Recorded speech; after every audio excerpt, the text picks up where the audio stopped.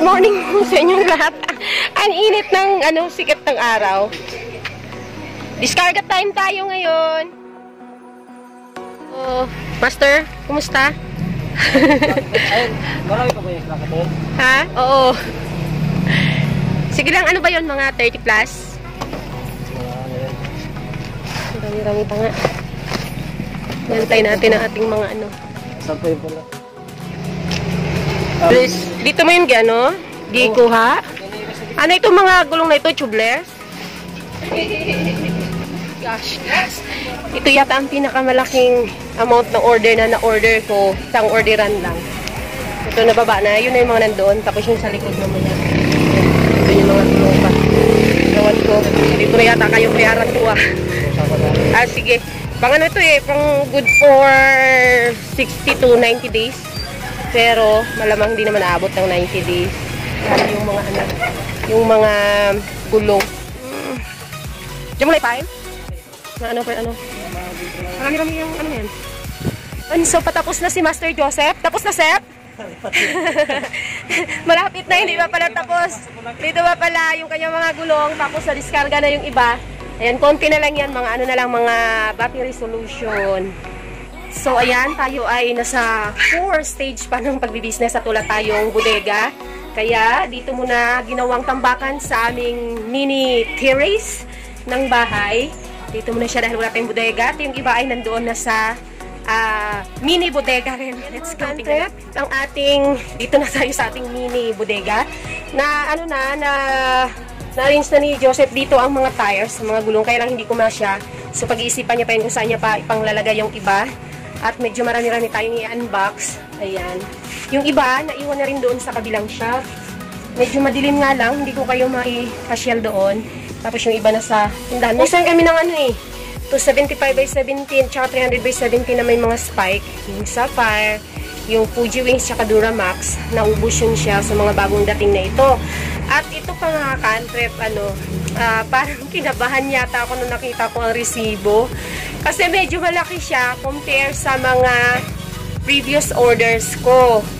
Ah, pero sanay naman akong umorder ng medyo malalaki kasi nga nung may rota pa. Kasi syempre pag ganun-ganun lang naman yung sa truck na kinakarga pang rota at yung para sa shop. Pero nung wala na yung rota, tapos nakapag-order ako ng malaki, medyo kinabahan ako kasi ah malaking utang.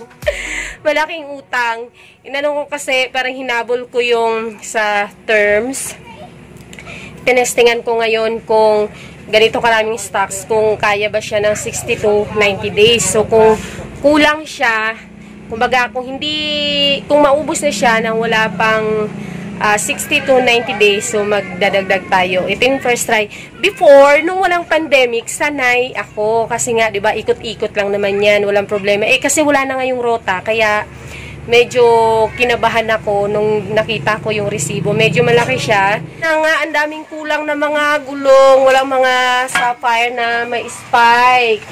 Na mga 17, yung ganyan, no? Pero mas malalaki kasi yung spike, spike, spike ng sapphire. So, mabenta yun siya out of stock. So, ang dami palang kulang ng aking ano, na order. Daming halos kompleto din yun ng mga sizes eh, pero wala yung mga sapphire. Imagine mo mga cantrip, yun lang yun ano. Tapos ganun kalaki yung inabot niya. So, ano talaga, kumbaga, ah, medyo malaki ang puhunan ng motor parts business. Ito yung mga, ano na to, mga chain. Yan. 1, 2, 3, 4. Uh, 5, 6, 7, 8, 9, 10, 11, 12 box yung ordinary kong na chain. Tapos, mayroon pang ibang brand naman. Mayroon akong, na-order ako nito ano eh, Takasago at saka YBN. Hindi ko lang alam kung nasaan dito banda o na dun sa kabila. Tapos, nag-minimize pa ako ng order niya ng tires ha. Ang tires ko parang pinakamarami 12, 12 per size. Tapos yung iba, 6, 5, depende sa ah, klase. And then, nag-minimize din ako ng order ng oils. Ang oils ko, konti lang. Unlike before, unlike before talaga, nung may rota pa na malakihan talaga. Yung nirorota po, yung ayang sinasakay dyan sa truck na yan, dito sa panel.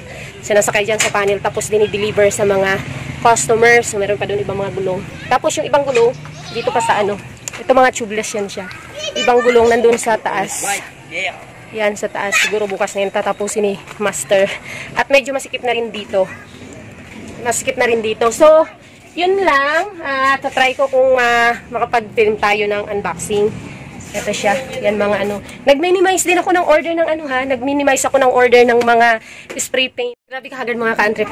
Ang hirap mag-business ng mahirap. kulang sa manpower. Ayan, kulang sa space. Pero man, pagod na pagod na ako. Pagod na pagod na kami ni Joseph kaka-sorting. Yan kasi inihiwalay din namin. Ito kasi yun, mga pintura yan, mga hardware doon sa kabila. Tapos, ayan na. Ang hirap, di ba nandun nga sa kabila yung iba? Tapos nagbubukas kami ng mga box para padalhan din yung kabilang shop. Ang hirap, ang pagod. Masikip kasi ang hirap gumalaw. Pero tapos hila na lang ng hilap. Di ba, Sep? Yeah, right. right. Grabe, ang sakit. You can't move. because there was so very, Ayan, very ano, darkness. Para naman doon, dalhin, nakarga sa truck. Ayun na to doon. Okay. Para doon naman yung iba, lalo yung mga pang-hardware. Ito yung iba, ito pa yung nakakaloka. Kasi syempre, naubusan doon ng ano, naubusan ng brake pad ng pang Honda Beat. So, syempre, kakangkalin ko siya kasi may bibili. Ayan. So, pro- pro- problema kasi, ayan, ayan, ayan, nandito. Ayun. Ayun. Ayan. Brake pad ng pang Honda Beat FI. Kasi may bibili. So, ang diskarte namin, ayan, pinapangbuksan lahat ng mga boxes. Siyempre, hindi natin alam kung saan box nakalagay yung particular item. So, pangbuksan lahat ng box para alam lang kung saan siya nakalagay para pag may bumili, alam kung saan kukunin. Tapos yan, cutting disc kasi may bumili. Ito yung cutting disc. Yung ano, alam nyo na itong bala ng sander na pangkat. So, dadalhin ko na ito doon kasi nga may bibili. Ayan, yung iba hindi pa nabuksan. So, kapag halimbawa may bibili naman kaagad, tapos alam ko na sa resibo, yung pinapabuksan lang yan kung saan siya banda. Para pag may bumili, alam na kung saan. Ulit ako umorder ng malakihan na isang orderan. Sinubukan ko umorder ng pang ano, pang maramihan para parang medyo matagal din siya maubos. Ang dami ng ano eh, bakante although hindi naman masyado kaganyan, meron pa mga break show, pero marami talaga items din na wala na, na kailangan na nilang i-refill.